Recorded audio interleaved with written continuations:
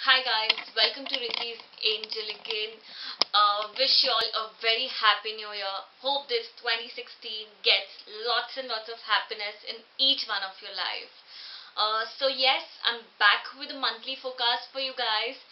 For January, I'm doing just two tarot messages. Basically, what tarot wants to tell you this January. Angel messages, I've done a blog post on it. Probably every uh, zodiac I've done an angel message for 2016. Do check out my blog. I will be linking that in the description box below for you guys.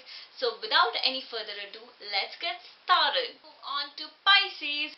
So I'm pulling out two cards from my deck and let's see what tarot wants to tell you for January 2016. Okay, both the cards that I have for you is card of swords.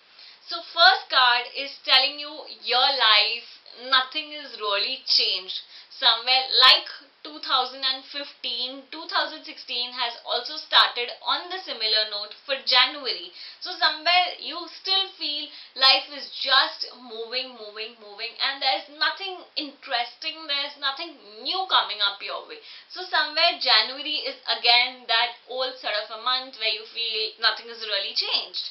Uh, the next card that I have for you is again a card of swords. This tells you that like you know you are still holding on to something from your past. You are still you know looking back in your life. Tarot is telling you at this very moment just stop looking onto your past. What's gone is gone, you know. Start looking ahead in your life and success will come to you. So this was all for you guys. Stay tuned, stay connected. This was all for you guys.